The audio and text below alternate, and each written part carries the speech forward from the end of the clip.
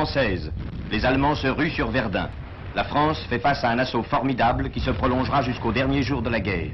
400 000 Français et 600 000 Allemands y trouveront la mort. Verdun, c'est le souvenir d'un cauchemar, le souvenir d'une victoire. Un des moments de la grandeur française. Un des hauts lieux de l'histoire du monde. Car jamais, avant Verdun, autant de souffrances, d'abnégation, de sacrifices n'avaient, en un seul point du globe, stupéfié un monde angoissé. Douaumont, le village est pris le 2 mars par les Allemands, repris le 3 par les Français, reperdu le 4. Le fort, enlevé par les Français le 22 mai, repris par les Allemands le 25, reconquis par nos soldats le 24 octobre.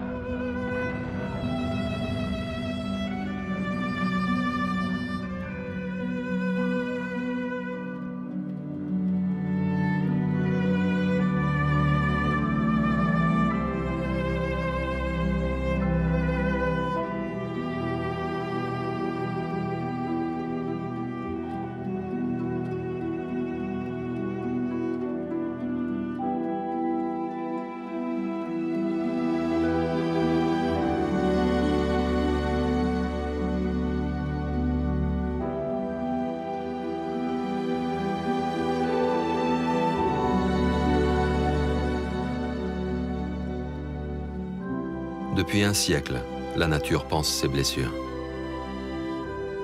Depuis un siècle, les espèces végétales et animales reconquièrent ces terres brûlées. Depuis un siècle, sur le plateau de Douaumont, la forêt y a repoussé spontanément et naturellement, sans intervention humaine. C'est aujourd'hui une forêt d'exception, car c'est un phénomène unique en Europe. Certains arbres survivants sont même les rares et, depuis quelques années, uniques témoins silencieux de ce qu'a été la plus terrible bataille de la Première Guerre mondiale.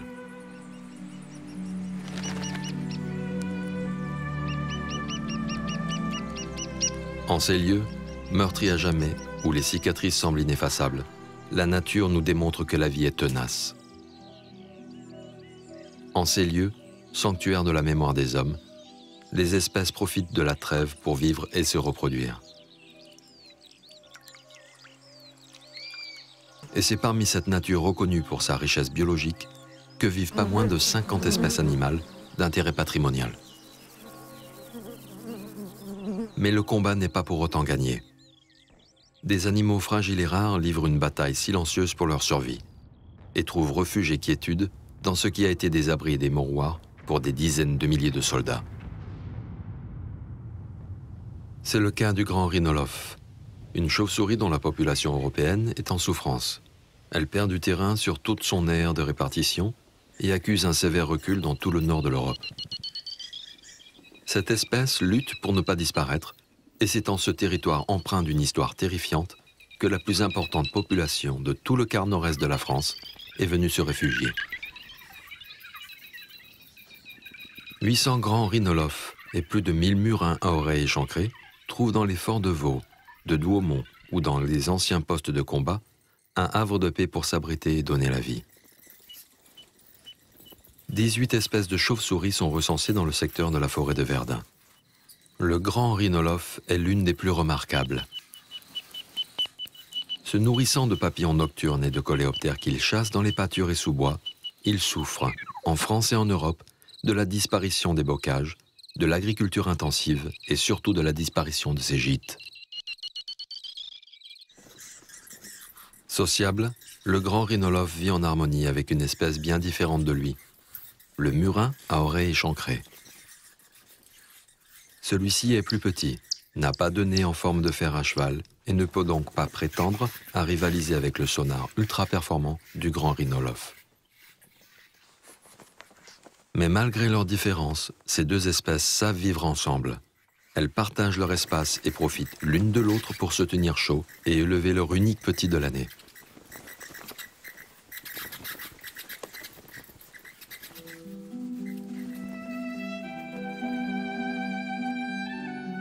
Chaque femelle allaite son bébé pendant un à deux mois.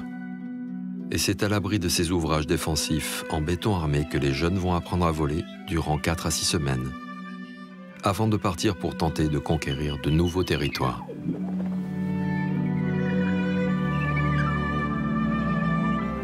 Si ces deux espèces se sont réfugiées en nombre dans la forêt de Verdun, d'autres y vivent tout aussi discrètement, comme le grand murin et le petit rhinolophe, qui fréquentent également les ouvrages militaires.